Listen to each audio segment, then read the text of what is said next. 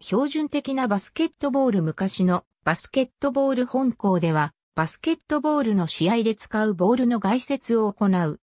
バスケットボールの大きさは、プロモーション用のアイテムとして使われる直径数インチぐらいのものから、選手の技術向上のために使われる直径1フィートぐらいのものまでがある。NBA で用いられる標準的なバスケットボールの大きさは29.5から29.875インチである。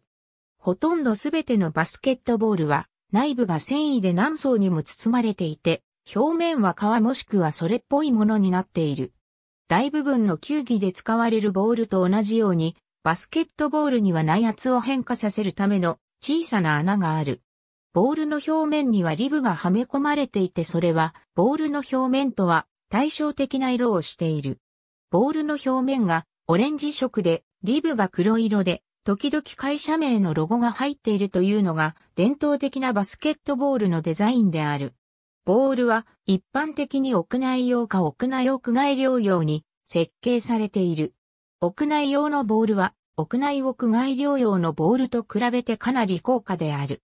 その上、新しい革の屋内用のボールは試合で使う前に最適なボールの握り具合を得るために十分に使い慣らされていないといけない。